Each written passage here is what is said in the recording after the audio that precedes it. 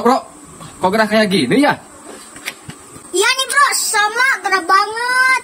Pantesan bro, mobilnya belum dipasang AC. Pantesan gerah. Ya udah, si Pro bikin AC dulu ya. Oke.